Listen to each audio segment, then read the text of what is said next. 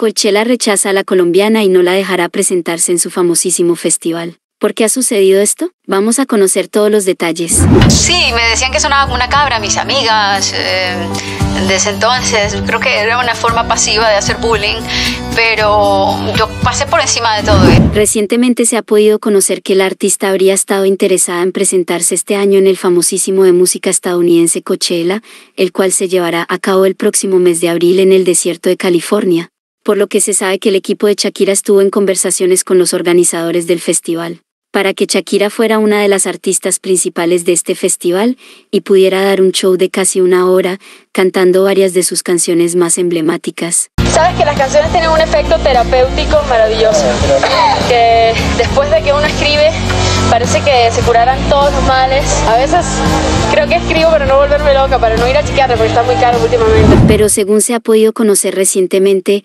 los organizadores de este festival Coachella no quisieron que la barranquillera fuese una de las titulares del festival, por lo que la rechazaron y le dijeron a su equipo que no estaban interesados en que Shakira se presentara.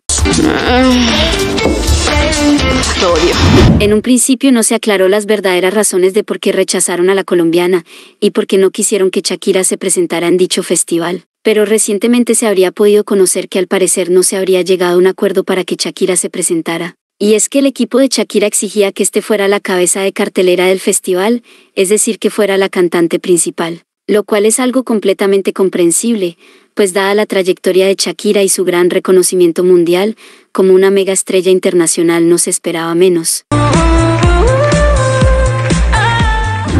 Pero se ha podido conocer que los organizadores de Coachella no estaban muy convencidos con poner a Shakira como la artista principal del festival, y querían ponerla como una de las artistas de segunda categoría, algo que ha hecho enojar bastante a los fans de Shakira pues estos aseguran que los organizadores de Coachella no le están dando el trato merecido al artista, y comparan esto con el Super Bowl del 2020, cuando Shakira tuvo que compartir la mitad del show con Jennifer López, un acto para muchos bastante discriminatorio.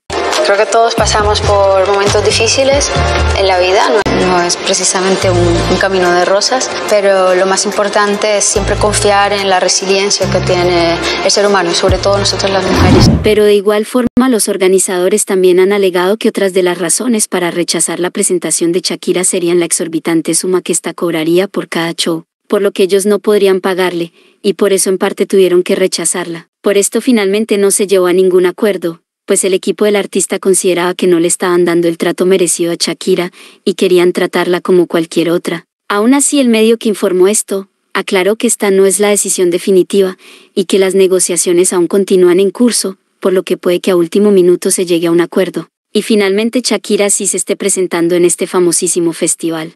La buena noticia de esto, es que la colombiana y su equipo están realmente interesados en que este sea el año de Shakira, y por eso estarían buscando que ya se pueda presentar en varios festivales y premios muy importantes, para esta manera poder promocionar el nuevo álbum de Shakira, el cual según nuevas informaciones estaría saliendo el próximo mes de marzo, y por eso se estaría buscando varios escenarios para toda la promoción. El 2022 ha sido un año que difícilmente podré olvidar, en el que he encontrado tantos desafíos como amigos de verdad.